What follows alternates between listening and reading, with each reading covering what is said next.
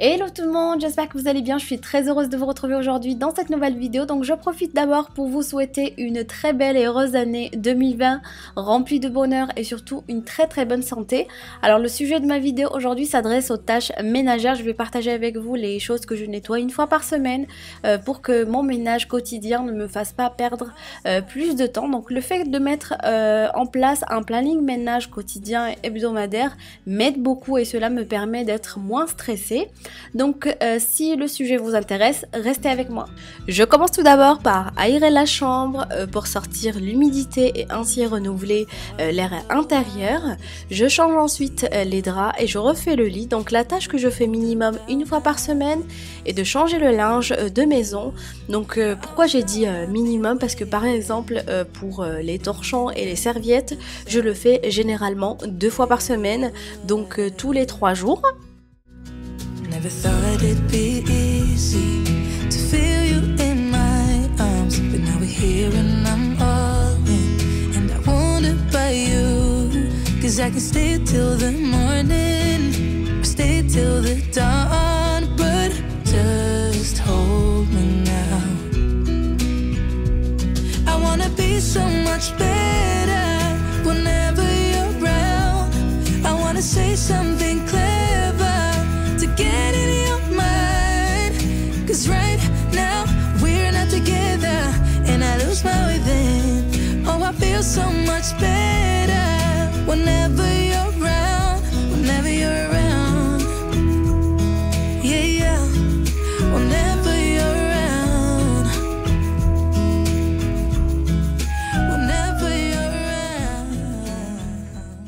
Je passe à la salle de bain donc une fois par semaine, je nettoie à fond tous les coins de la salle de bain ainsi que les joints pour justement éviter que l'eau s'infiltre dans les murs comme les résidus euh, de savon. Donc pour le nettoyage, j'utilise ce gant euh, magique que je vous ai euh, déjà présenté dans une précédente vidéo.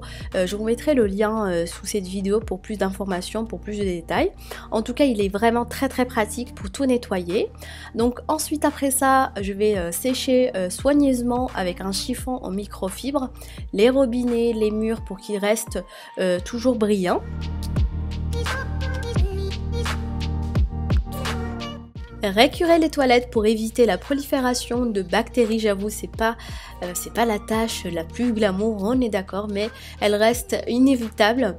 N'oubliez pas d'aérer pour laisser l'air entrer dans la pièce et ça en général, il faut le faire euh, chaque jour après euh, la douche, justement pour éviter que la moisissure s'installe. Après, c'est vrai que c'est une pièce humide qui se salit généralement très très très vite, donc on aura tendance à la nettoyer plusieurs fois par semaine et c'est ici qu'un nettoyage journalier prend toute son importance puisqu'il va minimiser en fait l'apparition euh, des moisissures, le tarte, etc. Et euh, aussi, euh, c'est ce qui rendra le ménage nettement moins pénible. Donc, c'est pour ça c'est très important de mettre en place un planning et d'organiser ces tâches ménagères.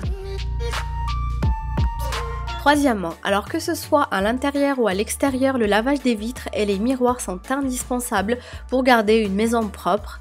personnellement, j'essaye de laver les vitres de toute la maison une fois par semaine. Après, je dois avouer que parfois je zappe, surtout quand il pleut.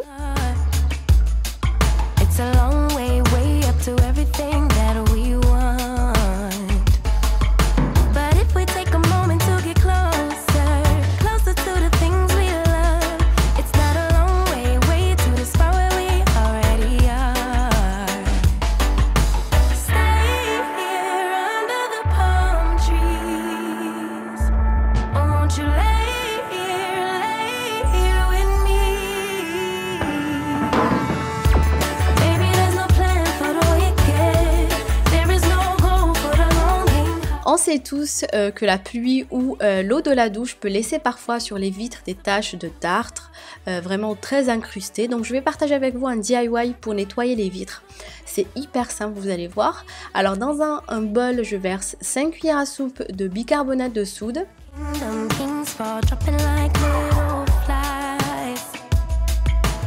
3 gouttes d'huile essentielle de citron ainsi que 3 gouttes d'huile essentielle de menthe poivrée. Puis je mélange ces trois ingrédients. J'ajoute ensuite 3 pressions de vinaigre en gel. Vous pouvez très très bien remplacer par 8 cuillères à soupe de vinaigre liquide. Moi euh, j'utilise euh, actuellement le, vinaigre en gel mais c'est exactement la même chose. Donc je vais, euh, je vais en fait couvrir cette préparation d'eau chaude d'environ 1 litre. Je mélange bien le tout puis je transvase ce mélange dans un flacon muni d'un vaporisateur.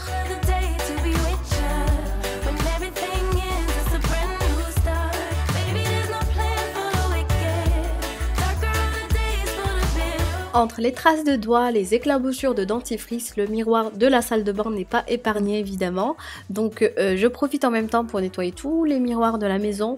Euh, et pour ça j'utilise en fait un aspirateur à vitre qui va euh, absorber l'eau sale et qui ne laisse aussi aucune trace. Donc vraiment très pratique, le tout en un seul passage. voilà, j'ai craqué récemment, et, mais vous pouvez très très bien le faire sans ça avec un chiffon microfibre. Donc moi j'utilise cet aspirateur.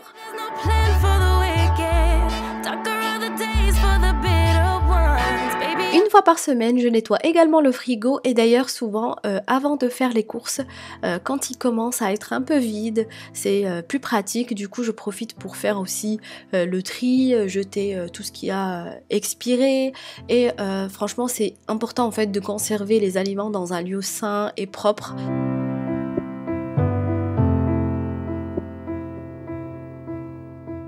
Avant de nettoyer l'intérieur du frigo, je commence d'abord par le vider, ensuite euh, retirer les étagères, les tiroirs, parce que comme ça c'est beaucoup plus simple.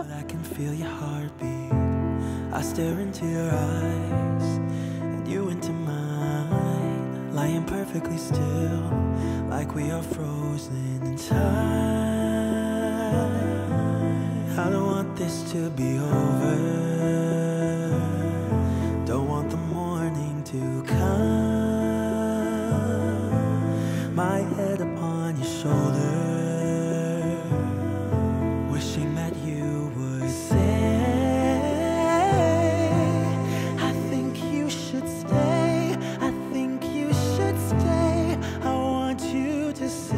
après avoir essuyé les étagères et les tiroirs de mon frigo, il est temps de s'attaquer au reste.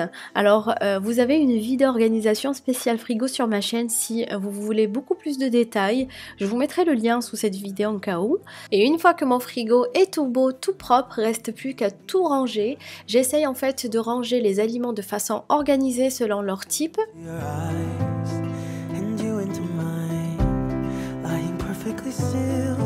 Like we have frozen time. I don't want this to be over.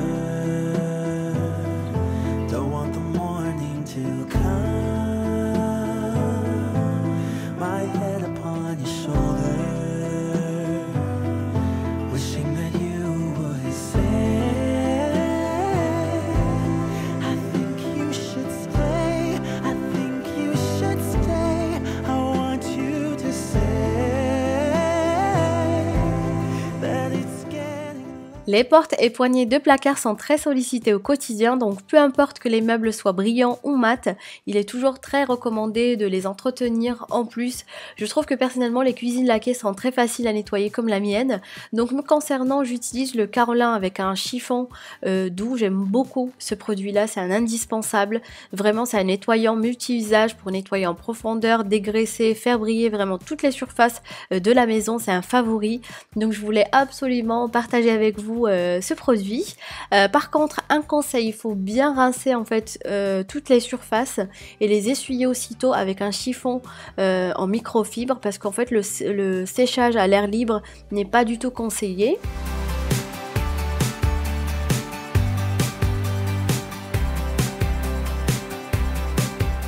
Je profite également pour partager avec vous également une astuce pour nettoyer les chaises en simili-cuir en blanc en plus c'est un peu galère. Donc je le fais une fois par semaine euh, pour éliminer les taches euh, j'utilise du linément oléocalcaire tout simplement avec une éponge euh, assez douce. Donc c'est un super produit qui va à la fois nettoyer détacher et aussi nourrir. Donc je vous le recommande vraiment à 1000% sachez que vous pouvez aussi utiliser un lait démaquillant ça marche aussi très très bien. Ne surtout pas frotter trop trop fort et encore moins à sec, ça c'est vraiment très déconseillé. Euh, n'utilisez pas non plus les éponges trop abrasives, donc euh, franchement il faut aller euh, doucement et ça marche super bien comme vous pouvez le voir.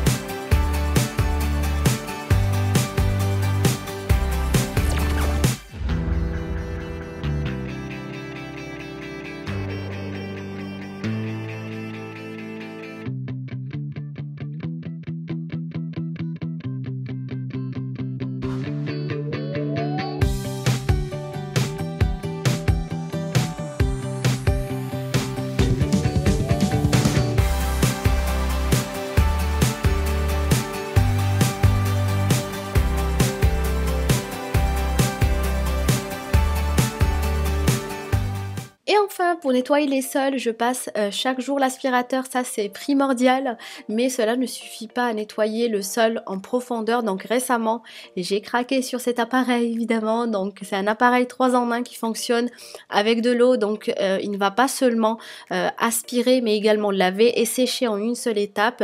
Il est composé de deux réservoirs qui séparent la solution de nettoyage et l'eau. Je trouve ça hyper hyper pratique franchement. Donc c'est fait exprès pour justement garantir un nettoyage en profondeur. En tout cas, j'en suis ravie. Je ne regrette absolument pas mon achat. Si vous voulez plus de détails, une revue un peu plus complète, dites-moi ça en commentaire. Je le ferai avec un grand plaisir.